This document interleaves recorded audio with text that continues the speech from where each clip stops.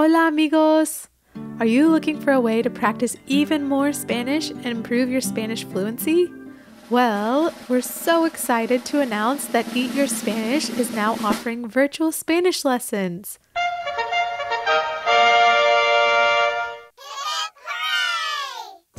Our virtual lessons are given by one of our amazing Eat Your Spanish teachers and are available to children of all ages and adults. Lessons can be one on one, with siblings, or even with family friends.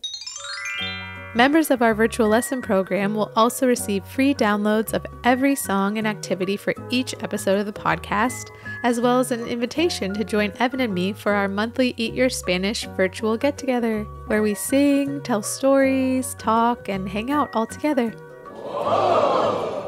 If you're interested in finding out more information or signing up, you can write us at evanandvanessa at gmail.com or visit us at www.eatyourspanish.com and send us a message. We hope to hear from you soon. Now, on with the show. Hey, friends. Before we start the show, we want to give a quick shout out to a few members of our Patreon familia. That's right. We want to send a big hola to our amigos Luke, Grace, Sophie, Alfie, their mama Karen, and their papa Jonathan, all the way in Cambridge, England. It's so wonderful to know that we have such special listeners all the way across the Atlantic Ocean. I was also so happy to hear that you all love to listen to our song Sol, Sol, Sol. That's actually one of my favorite songs too, and it's one of the first songs that Evan and I wrote together. I also heard that you all would like to visit Spain and Costa Rica sometime. That's amazing! Believe it or not, Evan and I have actually traveled to both of those countries. So if you ever have any questions about visiting, feel free to reach out and we'll be happy to share our experiences with you. We're sending you all lots of love and muchas gracias for being such kind and loving supporters of our show. We also want to give a shout out to our amiga Reese, her mama Jessica, her papa Jeff, and her perros Sport, Socks, and Oscar. Hola, amigos! Reese, we heard you just graduated from kindergarten at a Spanish immersion school. That's so amazing. Congratulations, amiga. It makes us so happy to know that you're learning so much Spanish now, and that Eat Your Spanish was one of the things that helped you along your Spanish learning journey. I bet you learned so much in your kindergarten year. You could probably even teach me a few new Spanish words and phrases. I hope you're having a really great verano, and please make sure to give un abrazo fuerte or a big hug to Sport, Socks, and Oscar. And thanks again to everyone in our Patreon familia. To anyone who would like to join and help keep our program going in exchange for additional learning materials such as Eat Your Spanish worksheets, activities, virtual get togethers, and song downloads, you can find our Patreon at www.patreon.com forward slash eat your Spanish or click on the link in the podcast description. Now, on with the show. Hello, friends. Hola amigos, How are you? ¿cómo están? I'm so happy Estoy feliz to be with you. a estar contigo. Are you hungry Tienen hambre to sing and play? a cantar y jugar, Cause on our menu porque en el menú is Spanish today. Everybody sing. Eat your Spanish, eat your Spanish, eat your Spanish with us today. Did you say spinach? No, I said Spanish. Okay. Eat your Spanish with us today. Eat your Spanish! With Evan. And Vanessa.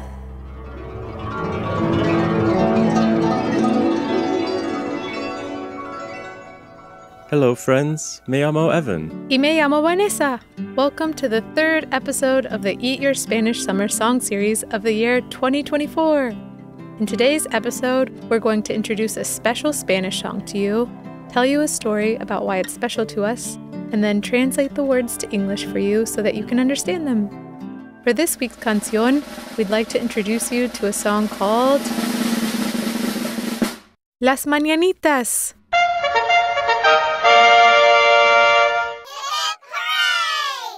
This canción is really special because it's a very old song that has been sung not just in Mexico, but throughout lots of other Spanish speaking countries and communities all over the world for over 100 años or 100 years. Oh, yeah, this is a really, really special song for me. My familia sings this canción on Mother's Day and on a few other special occasions. We even sang it to my Gramsy or mi abuela on her 90th birthday not too long ago, and she was so happy that she got tears in her ojos. I remember the times I heard it on my own birthday too. And if I'm being honest, I even like it more than the traditional happy birthday song. Vanessa, would you like to play it once now, and then you can explain to all of our amigos what the words mean? See, I would love to. Here is one of my favorite traditional Mexican songs called Las Mañanitas, with this version being performed by a mariachi band called Mariachi Oro de Tepatitlan.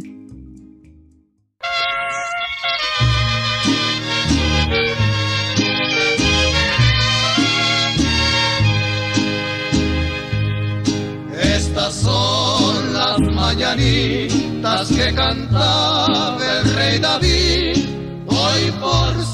Día de tu santo, te las cantamos aquí. Despierta, mi bien, despierta.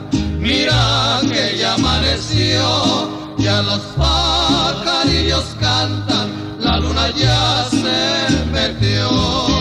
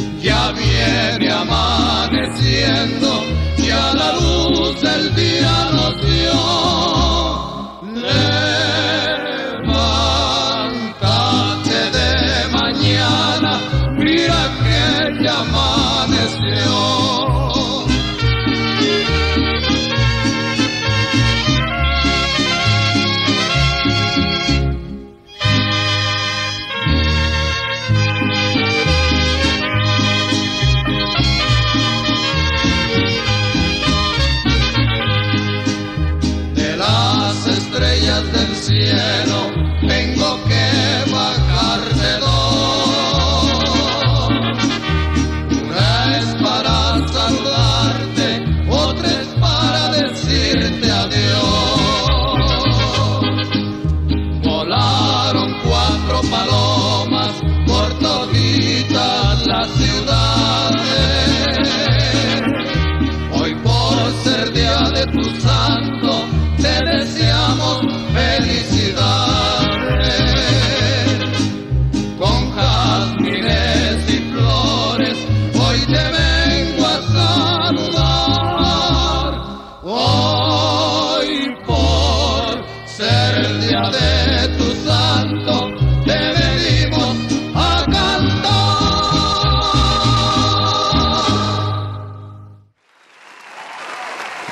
Vanessa, that canción is so beautiful. Do you think you can help us understand what the words mean in English? Por supuesto, of course. But just a heads up to all of you listening this song has a lot of words in it because it tells an entire story. So it's going to require a little bit more patience than a normal one of these episodes. But I'm here to help guide us through together. Ready, amigos? Okay, here we go. The first words sound like this Estas son las mañanitas que cantaba el rey David. Hoy por ser día de tu santo, te las cantamos aquí. And in English, those words mean These are the mornings that King David sang about. Today, on your sacred day, we sing just for you. Next comes these Spanish words Despierta, mi bien, despierta. Mira que ya amaneció. Y los pájaros cantan, la luna ya se metió. Which means, wake up, good one, wake up. Look how dawn has come. The little birds are already singing, the moon is already set. Then the third verse sounds like this Qué linda está la mañana en que vengo a saludarte. Venimos todo con gusto y placer a felicitarte. In English, these words mean how beautiful the morning is when I come to greet you. We all come with delight. You're doing great so far, amigos. I just wanted to pause here for a moment to explain that in this song, you might notice that there are some parts that reference Catholic symbols and religious relics, too. This is because Catholicism is the most common religion in many Spanish speaking countries, so many older songs, such as this one, have roots in Catholic traditions. However, no matter what your family believes, I think we can all agree that it feels really special to imagine a whole town celebrating your special day with you, like they're doing in this song. Those sorts of feelings can be enjoyed and loved by anyone from any walk of life. Okay, amigos, on to verse 4.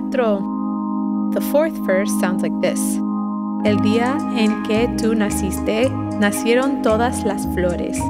En la pila del bautismo cantaron los ruiseñores, which in English means, On the day you were born, all the flowers bloomed. The nightingales sang at the baptismal fountain. In the fifth verse, we hear these words Ya viene amaneciendo, ya la luz del día nos dio.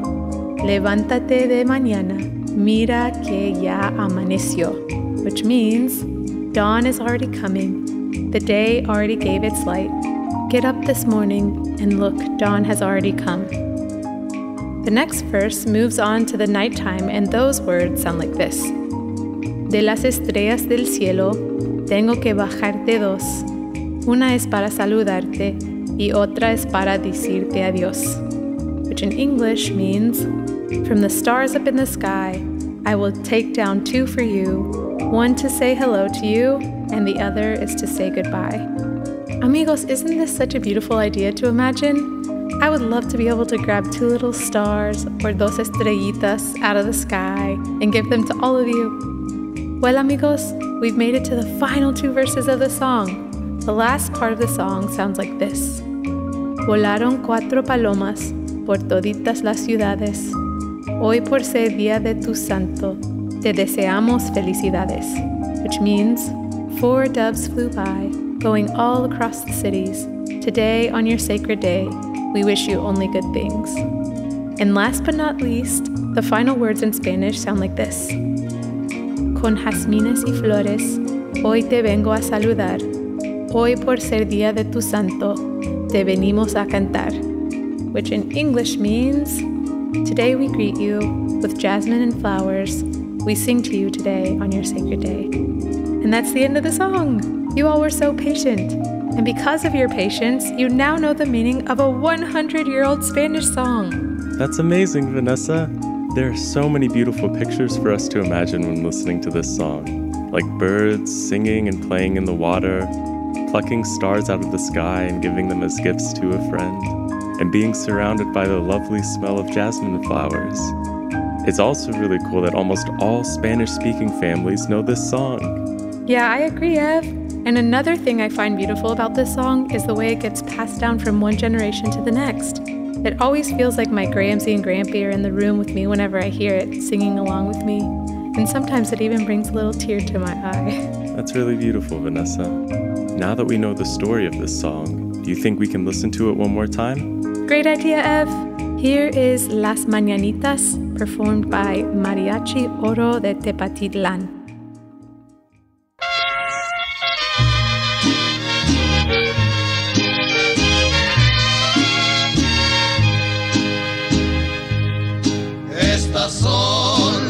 Mañanitas que cantaba el rey David. Hoy por ser día de tu santo, te las cantamos aquí. Despierta, mi bien, despierta. Mira que ya amaneció, ya los pajarillos cantan, la luna ya se metió.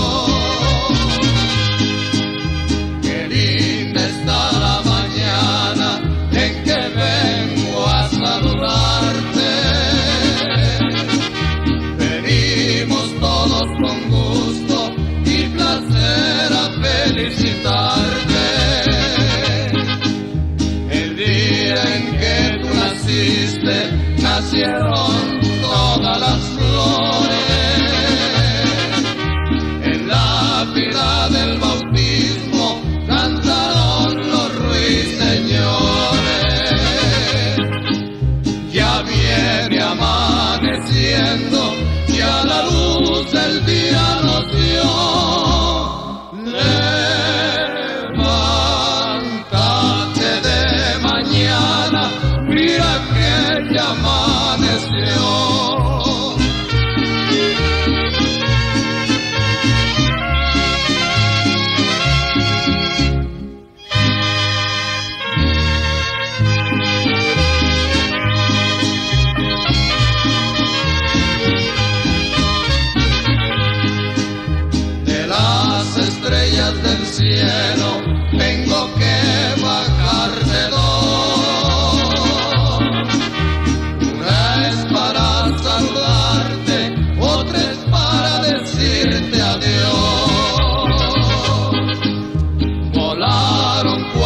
Cuatro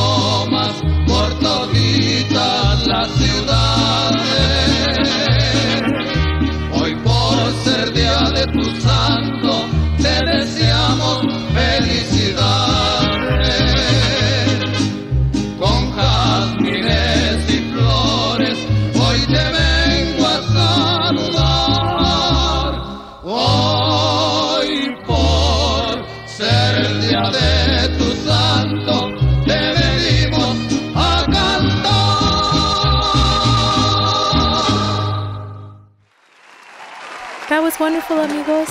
Thanks again for listening to the song Las Mañanitas with us. Now that we've learned so much about our special canción, that can only mean one thing. Time for two of our very special amigos to take over the last part of the show to answer one of our listeners' questions. Take it away, you two. Gracias, Evan and Vanessa. Y hola, amigos. It's time to answer a pregunta from one of our special Patreon supporters. Drum roll, please. Today's special listener is Kylish.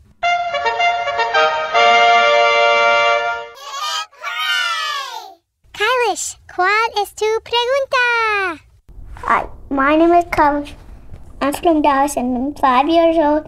And how do you say tablet in Spanish? Hola, Kylish. That is a really good question, amigo. I'm an elefante, and while I don't really use modern technology as much as a lot of people do, I finally broke down and got a tablet recently so that I can stay in touch with mi familia y amigos that live far away from me. My elefante tablet is about as big as a television. Hey, Mr. Mouse, didn't you just build your own tablet? I sure did. I made mine out of aluminum foil and an empty matchbox I found in the recycling bin. It doesn't really work just yet, but it's fun to stare at it and let my imagination go wild. Wow, Mr. Mouse, that is very creative of you. you know, now that I'm thinking of it, I'm pretty sure I heard you screeching at your tablet in the other room this morning. what kind of imagination adventure were you going on? Oh, yeah, I was uh, pretending I was watching an imaginary episode of Eat Your Spanish, except Evan and Vanessa weren't actually humans. They were talking pickles. Mr. Mouse, you are one of a kind. That is the strangest and most delightful thing I've heard all day. Anyways, Mr. Mouse, how do you say tablet in Espanol? To say tablet in Spanish, you can either say it similarly to how we say it in English, so just tablet, or you can say tableta. Let's try the second version since it's a little different, even though it's still a cognate. So repeat after me, amigos. Tableta, Tableta, tableta. tableta. Wow, muy bien, amigos. Well, thanks again for the wonderful question, Kylish, and gracias to all of our amigos for being such great listeners. Now there's only one thing left to do. Time for our goodbye song. We hope you'll sing along with us, amigos. Adios, mi buen amigo. Goodbye, my good friend.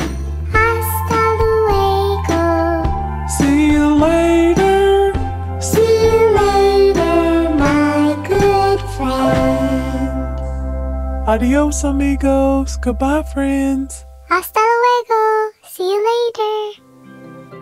Thanks for listening to the Eat Your Spanish podcast. You can support our podcast by visiting patreon.com forward slash eat your Spanish or by subscribing to it and leaving a review on Apple Podcasts. You can also find us on Facebook, Instagram, or on the web at eatyourspanishpodcast.com.